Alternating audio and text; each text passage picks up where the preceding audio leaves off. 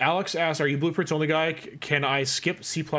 So I think I said this last stream as well. You can make a, uh, a, a entire game just with blueprints. People are going to say C++ is faster, it's more optimized. I mean, it will work better for certain things. What you should do is you want to just get a prototype out. So just use blueprints, get a prototype out. Is your game fun? If your game's not fun, well then you need to figure that out, right? C++ is not going to make your game fun. Use blueprints, make a prototype, make it work. Then once you have a better idea on your game and you want to scale it up, start scaling it up. You're still using blueprints only. Game's starting to run a little sluggish now. What's going on? Whatever. You're going to profile it, right? You'll run your profiler, trace, all that kind of stuff. It's going to show you where it's getting hung up, and then you're going to look at it and you're going to kind of dissect it. This is like really advanced stuff, mind you, but yeah, you're going to dissect it, figure out where the bottlenecks are, and then you're like, oh, okay, it really bottles up when I'm trying to play a bunch of particle effects or something on screen at the same time or something. That doesn't necessarily get fixed in C++, but perhaps there was something in C++ that you can do that will make that bit better. So then that part there, you can make C++.